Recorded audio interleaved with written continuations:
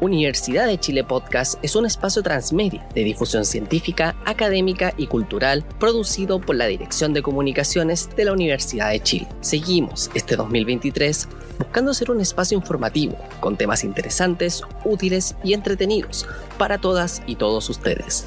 Recuerda que nos encuentres en tantaku.cl y en distintas plataformas de streaming de audio y video. En este capítulo hablaremos sobre el fenómeno de las tormentas geomagnéticas o geotormentas. Abordaremos sus causas, consecuencias en nuestro planeta y qué tan preparados estamos para cuando esto. Para, para, para. ¿No se está escuchando? ¿Por qué? ¿Qué está pasando? Oigan, se acaba de cortar la luz en toda la oficina. Broma. ¿Tú crees que sea por la geotormenta? Ah, ¿te imaginas? Oigan, ¿a alguien le funciona su celular? El mío se apagó. Oye, se cortó la luz en toda casa central. Capaz que sí.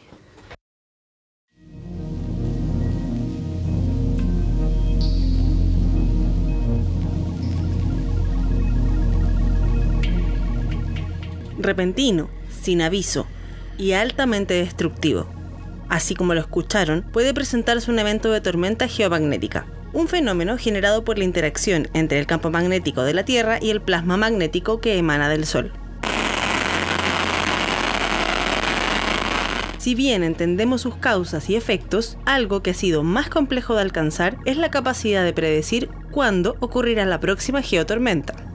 A mediados de 2021, Paula Reyes y Pablo Moya, investigadores del Departamento de Física de la Facultad de Ciencias de la Universidad de Chile, publicaron un artículo que busca ayudar a disminuir esta incertidumbre. El académico, quien también trabajó en la NASA, explica este proceso. Estos son fenómenos que se llaman no lineales, que en el fondo no es que algo chico genere algo chico y algo grande algo grande, sino que pueden pasar muchas combinaciones de cosas y quizás una, es como una avalancha, una, la última granito de arena puede producir una avalancha. Entonces, esa complejidad hace, hace que tengamos que estudiar estas cosas de distintas maneras y una de ellas es, por ejemplo, medir cuánto el campo magnético de la Tierra se ve afectado por un evento solar. Y eso es lo que se llama el índice DST que esencialmente mide cuánto disminuye el campo magnético terrestre, el medir la superficie de la Tierra en el Ecuador, cuando eh, la Tierra está siendo afectada por un, por un evento solar. DST o tiempo de distorsión de una tormenta. Este índice que comenta el profesor Pablo Moya resulta clave para predecir las geotormentas. Si bien este índice no es el más avanzado actualmente, sí es el mejor documentado, teniendo datos que van desde 1957 hasta la actualidad. Como queríamos hacer un estudio estadístico de cómo lo que ha sucedido nos podría ayudar a intentar hacer predicciones o estimaciones de lo que va a suceder, teníamos que ir para atrás. Y, para atrás no hay, hay, no hay índices tan buenos.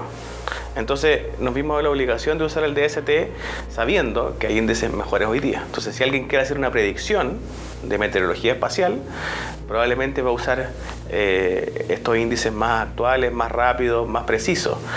Pero si queremos hacer un estudio estadístico hacia atrás con la información que se conoce, tenemos que usar lo que ya se hizo. O sea, no hay forma de volver atrás en el tiempo y, y medir mejor. Este índice se mide en nanoteslas que representa una millonésima de Tesla, unidad de medida estándar del campo electromagnético. El DST siempre da cifras negativas y sus lecturas pueden representar desde una ligera perturbación en la Tierra, que sería una medición entre unos 0 y menos 50 nanoteslas, hasta llegar a mediciones de menos 400 nanoteslas, que es básicamente volver a la edad de piedra, tecnológicamente hablando.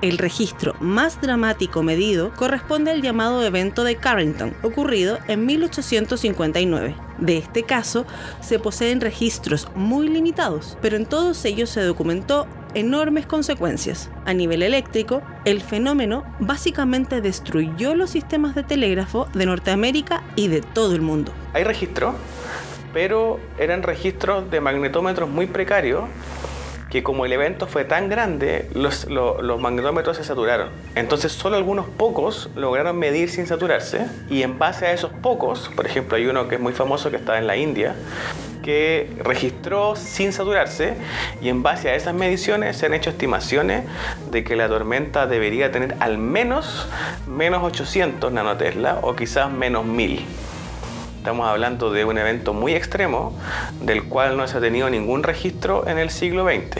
En el siglo XX creo que se llegó a menos 300 y tanto, menos 400, pero no más que eso. Ahora bien, como mencionamos al principio, el trabajo de Moya y Reyes es intentar predecir cuándo podrían ocurrir estas geotormentas. ¿Cuál es el problema? Que ellos solo han podido predecir que sería pronto y potente, tal como indica Paula Reyes, también investigadora del Departamento de Física de la Universidad de Chile. Entonces nosotros la conclusión que llegamos de manera general, o que también es algo que se eh, sabe o que se ha visto en la literatura, es que como dependiendo de cómo sea la actividad en la fase descendente uno tiene más o menos una idea de cómo va a ser la actividad en el ciclo siguiente, que sería esto que consideraríamos como la predicción.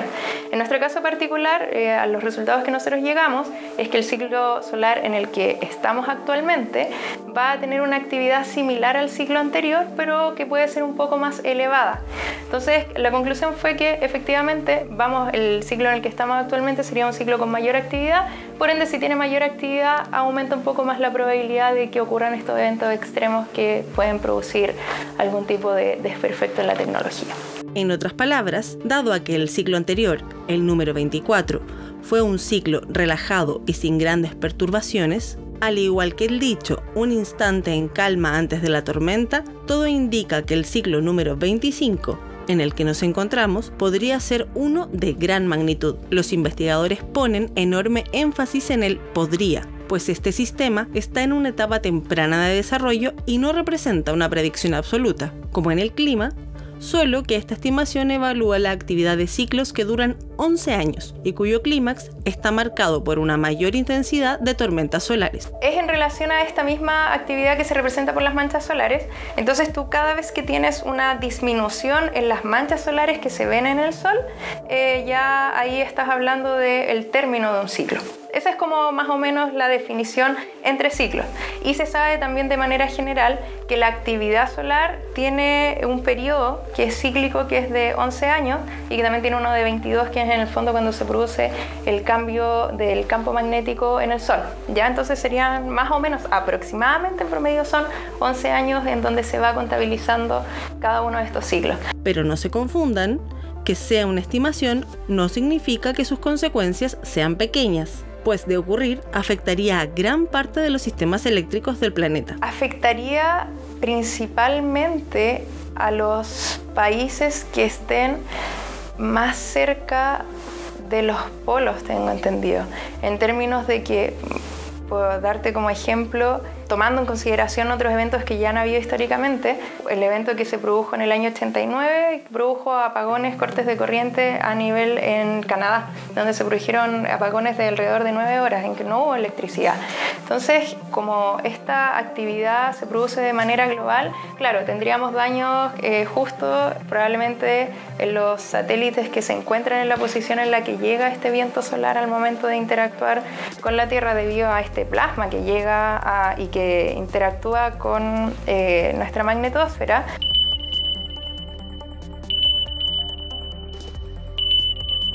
En el fondo, si llega una partícula o demasiada energía en, una onda electromagnética, lo que tiende a pasar es que cambia el estado de algún bit en, el, procesador o en las memorias, en el fondo en particular, y eso puede hacer que nosotros nos equivoquemos, porque si se cambia un bit, se cambia el nombre, por ejemplo, del registro donde uno quiere ir a sacar un dato. Y entonces eso significa que vamos a buscar un dato en el lugar equivocado eh, o lo vamos a guardar en un lugar equivocado. Si eso es solamente un error de que, de que guardamos en el lugar equivocado, eh, puede que no sea tan catastrófico, pero si guardamos en un lugar de la memoria donde hay información que es crítica para seguir el funcionamiento del satélite o de la operación de algún instrumento, puede que perdamos toda la misión porque terminamos grabando en un lugar donde no se podía grabar. Quien habla es Marcos Díaz Quesada, académico de la Facultad de Ciencias Físicas y Matemáticas y encargado del Laboratorio de Exploración Espacial y Planetaria de la Universidad de Chile, también conocido como SPEL. Este grupo de investigación actualmente tiene en órbita a los satélites Suchai, Suchai 2, Suchai 3 y PlantSat Por ello, desde el SPEL son bastante conscientes del riesgo de estas geotormentas, pero también advierten la dificultad de predecir el momento y la intensidad con la que ocurrirán, pudiendo afectar total o parcialmente a un satélite. Uno de los grandes problemas que tenemos es que eh, los eventos espaciales y los efectos son distribuidos en un gran volumen y en una gran superficie eh, en el espacio. Por ende necesitamos múltiples puntos que estén midiendo simultáneamente para poder entender bien la dinámica eh, de lo que se puede producir, porque estos son como similares a ondas. Entonces las ondas pueden eh, aparecer como constructivas o destructivas. ¿A qué me refiero con esto? Que en algún minuto, en alguna zona del espacio esto puede ser muy terrible y en otras zonas podría no serlo. Entonces si estamos midiendo siempre en el lugar donde no es tan malo, creemos que el ambiente espacial no es tan hostil.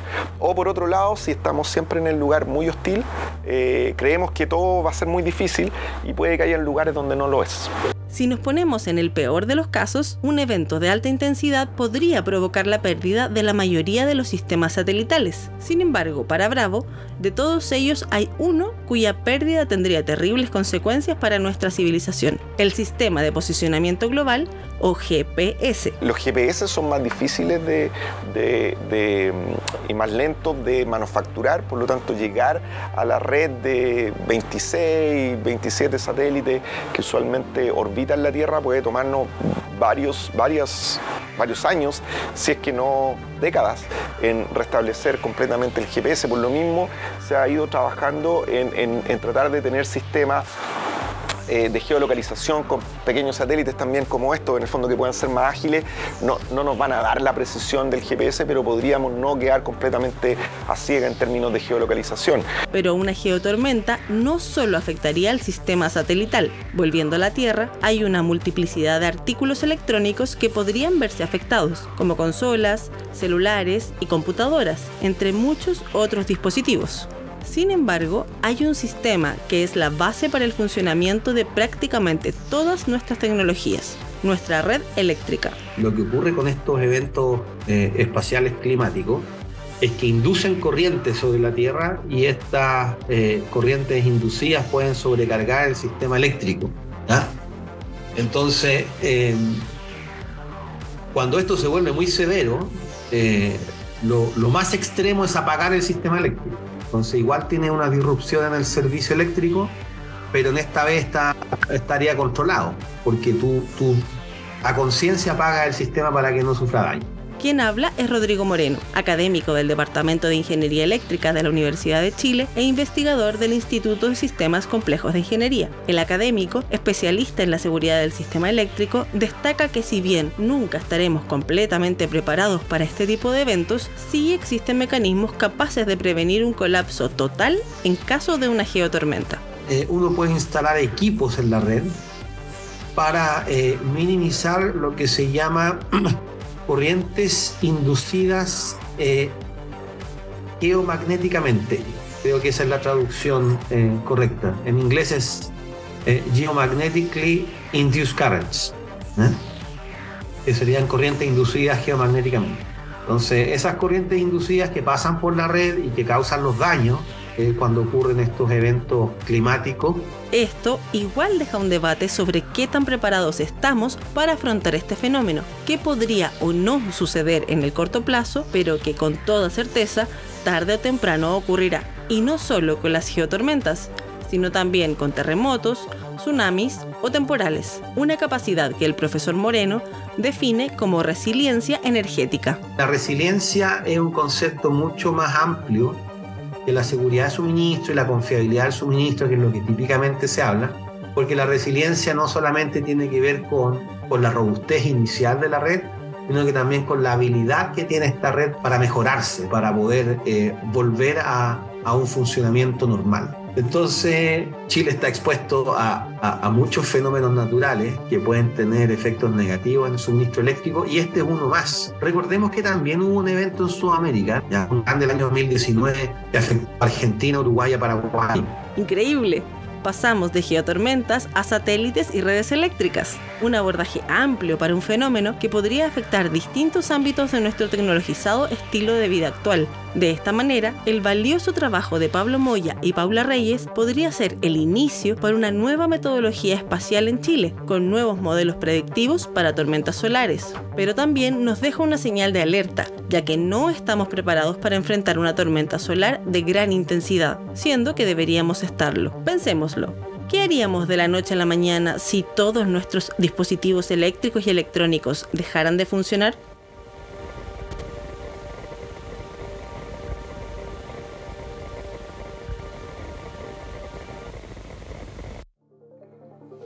Esto fue Universidad de Chile Podcast, temporada 2023, una producción de la Dirección de Comunicaciones de la Vicerrectoría de Extensión y Comunicaciones. Recuerda que nos encuentras en tantacu.cl, Uchile TV y en tus plataformas de streaming favoritas.